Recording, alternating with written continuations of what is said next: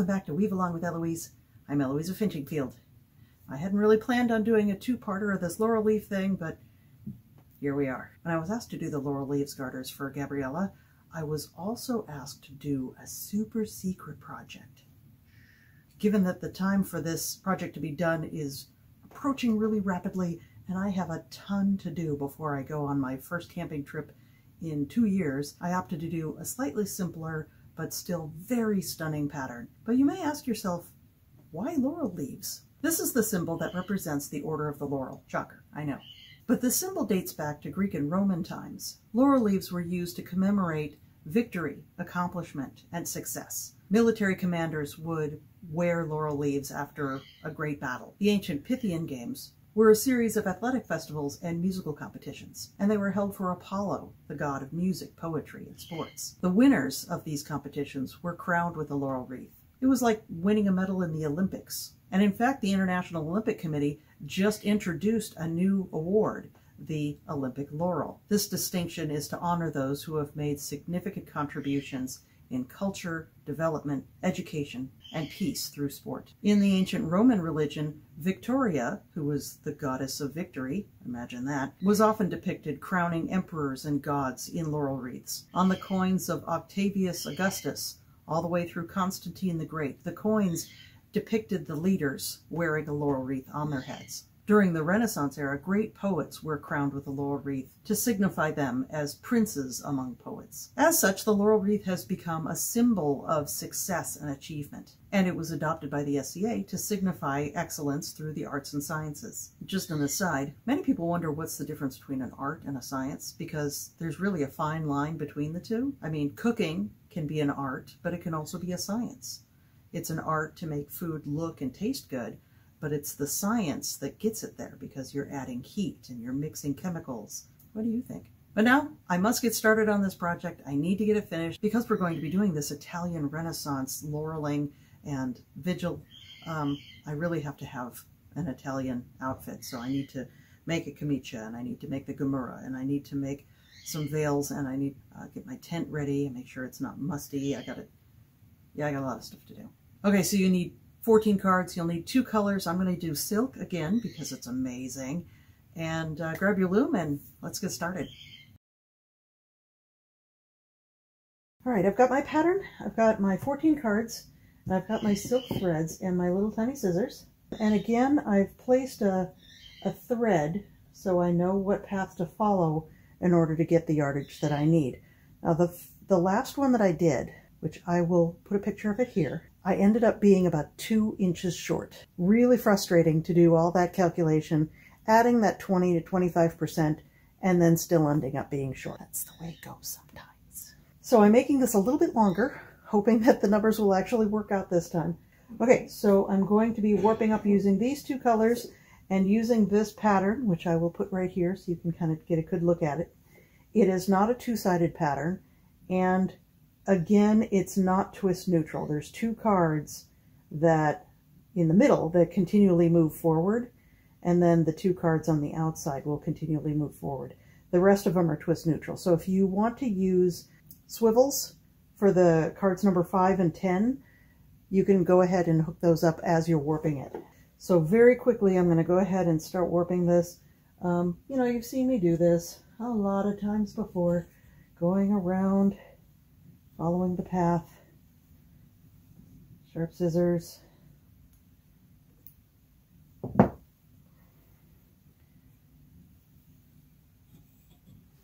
this is a fairly easy pattern. So if you are a new tablet weaver, this is a pretty easy pattern.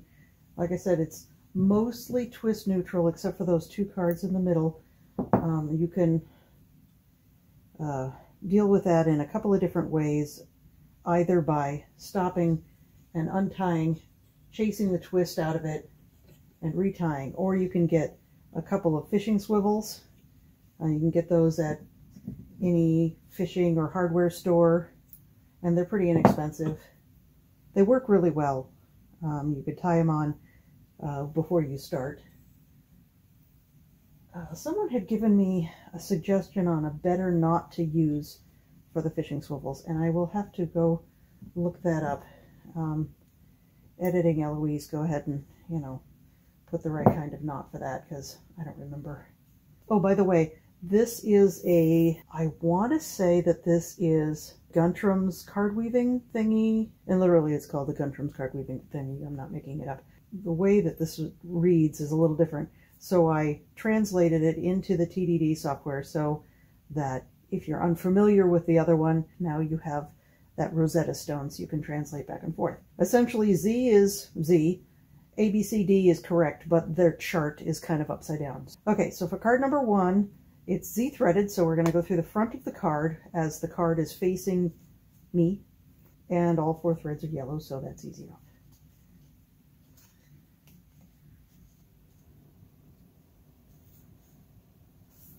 Oh, good. I don't know if you can hear it. My son just started his um, nebulizer machine downstairs, so you might hear a little rumble, rumble, rumble, rumble from downstairs.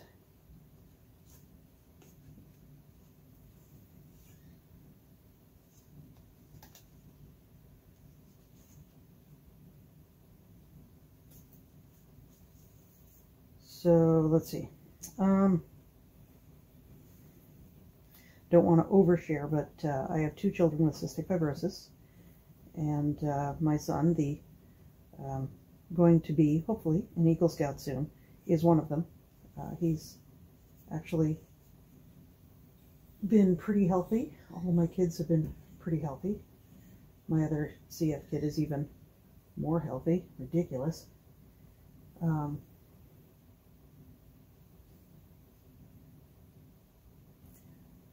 modern medicine. What can I say? Okay, so card number two is one green and three yellows. So again, I'm going to leave a, a nice long tail right at the beginning. I'm going to thread the green and yellow at the same time, and then I'll come back with the two yellows.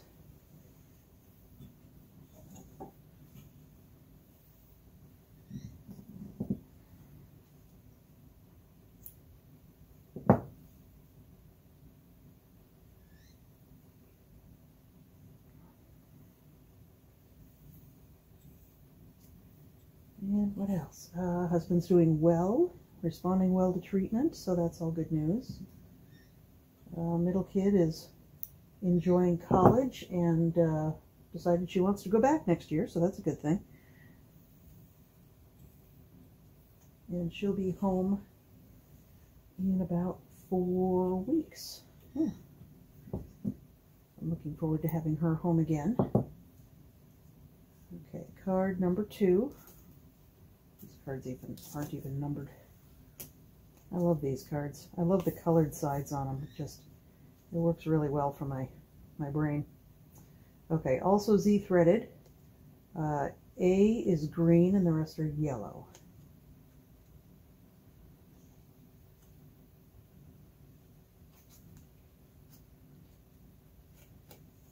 We had, uh, let's see, today is April 12th, and we've had all the weather today. We've had warm and we've had cold and we've had hail and we've had snow and sun and it's yeah we've it's April. So we're getting all of it today. Right now the, the skies are clear. It's night. I usually film in the mornings but um, I had to go get new tires for the car today, so I uh, postponed this and I just said, you know what, I, I gotta do this. I gotta get this project started. And I want to share it with you guys, but I, I just, I wanted to take the proper amount of time to actually film this. And it just seemed to be the wrong time every day. And this morning I didn't have time. I got up and had a cup of tea and then I had to leave. Okay, card number three, two yellows, two greens.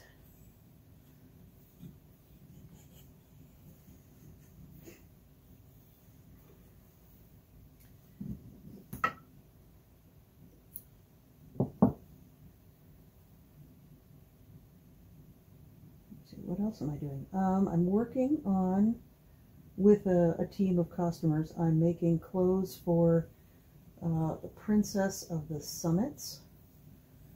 I mean, don't get too impressed. I'm the hems and buttons girl. Um, at least that's that's my joke is that I'm I'm on hems and buttons because that seems to be the thing that I end up doing all the time. But I love it. I really do. I don't mind being hems and buttons if it gives everybody else an opportunity to, you know, do what they need to do to get the project done. I'm happy to do hems and buttons. Uh, okay, card three, A and B are green.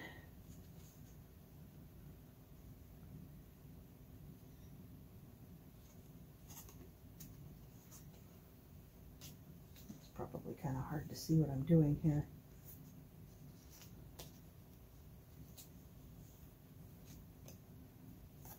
Experimenting with different camera angles.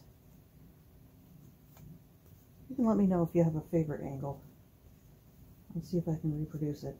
And when the weather gets nicer, I can go outside and there's more room I can spread out and better light and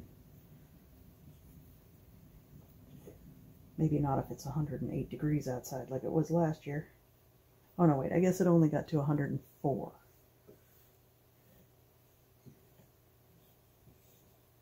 I'm not sure what that is in Celsius. I'd have to do math. Math Elewys. Do the thing. Okay, card number four is three greens and one yellow. This tablet weaving piece is not a good candidate for uh, continuous warping. That won't work at all. Oh, what? cut. Oh, shredded. I work on my cutting skills. Get the kindergarten scissors out again. Okay. Thread three.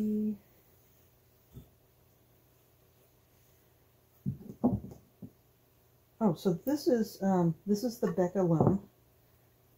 So far, it's worked really well, except I think I um, stripped out the threading on the uh, tension bar um, I had to take the, the washer out. There was a washer between the peg and this part.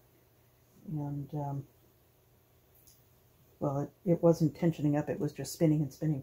So I ended up taking that out and then the threads caught. So I think, I think I may have stripped the threads a little bit. May have to get that fixed. Okay, card number, oh man, four. A, B, and C are green. Again, Z-threaded.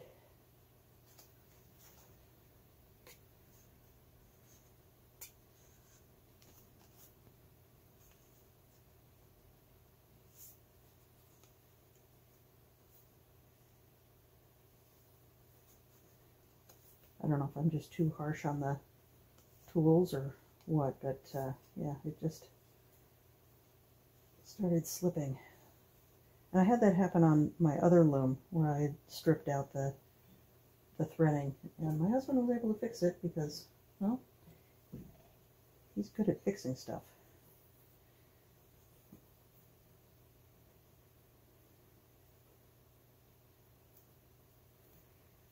Okay.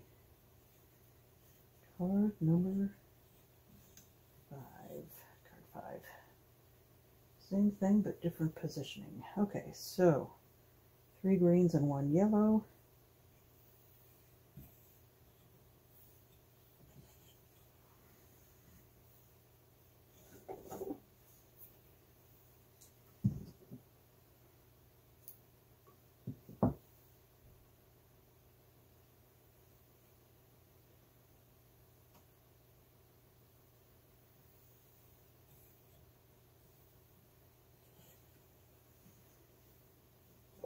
Yeah, with the weird weather we've had this last week or so, I'm not sure if I'm going to have to plant everything in my garden again. I've already planted some things twice because I, I sowed the seeds indoors and everything seemed to be looking okay and then everything wilted and died.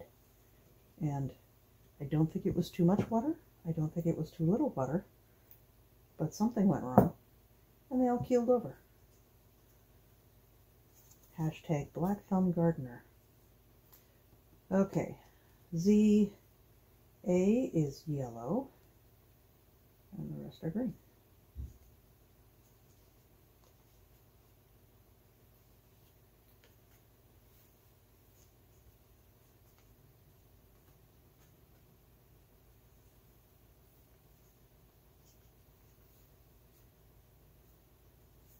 I like the idea of gardening. And I like growing herbs and stuff, and I've tried many times to grow food-like things, but just an appalling success rate. All right, what did I do here? Okay, there we go. Left over right twice. And right over left. Ooh.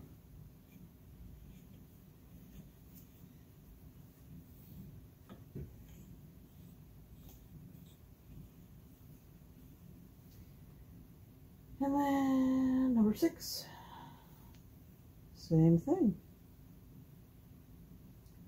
Get these lined up a little better.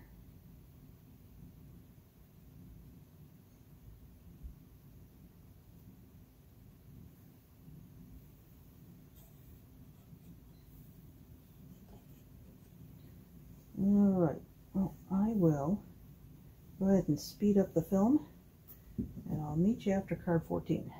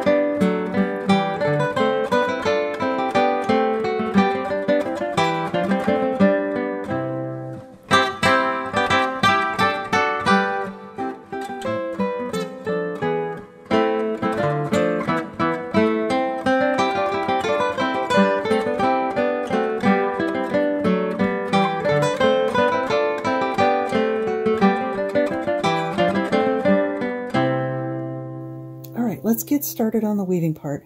Now, um, after I finished warping up, I went back and double checked my work, and I found that I had made uh, two big errors. So I had to go back and fix those, but now I've got them fixed. All the cards are AD at the top. I double checked all my work, like you do, like I just mentioned. Oh, and I still have this white thread here. I'm going to snip that off. White thread was just my my lead so I knew where I was going. Okay, so I got my shuttle loaded up. Again, this is the, uh, the sharp knife edge shuttle that I got. All right, so we're going to feed the weft in there, kind of leave a nice long tail. Turn all the cards forward. This is going to be so much easier because there's much fewer cards on this one, like about half. Put the shuttle through, bring the tail back through, and tighten it up gently. Turn all the cards forward again. Make sure they're in frame so you can see what I'm doing. Shuttle back through.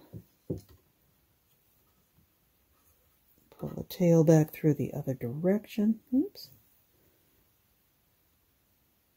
Give it a little tug. Not too tight. Turn the cards again. Now we got AB at the top. Hopefully this is going to work out. Hopefully I did this right. Should have. I triple checked my work. And turn the cards one last time. So you have AD back at the top again.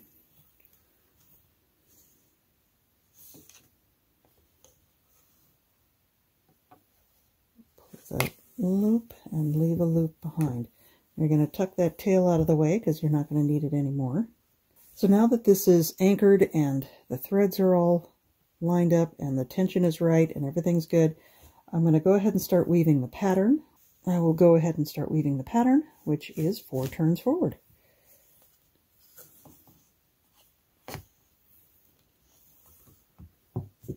I could have gone ahead and started with pick five since the first four turns are four cards forward, or all the cards forward.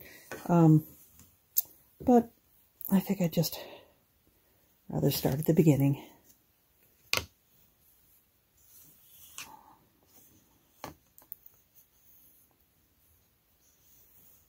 This is going to be a very delicate pattern because the silk is just tiny. Now, if you were using 60 over 2 so this would be probably that wide. It would be super tiny.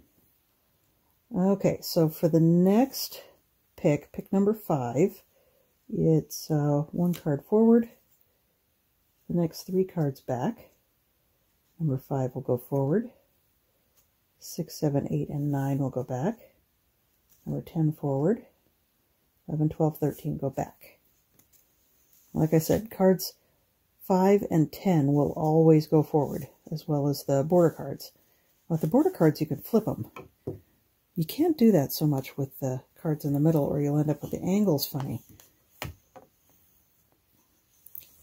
So like I said, you can use um, fishing swivels, um, or you can uh, independently weight those off the back of your loom and uh, let those spin freely.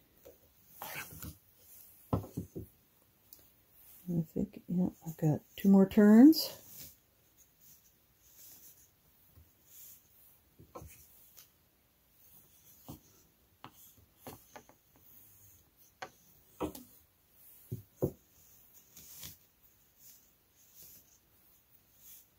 And that is it.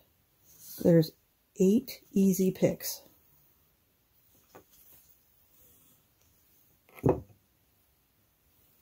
And this is so delicate and pretty.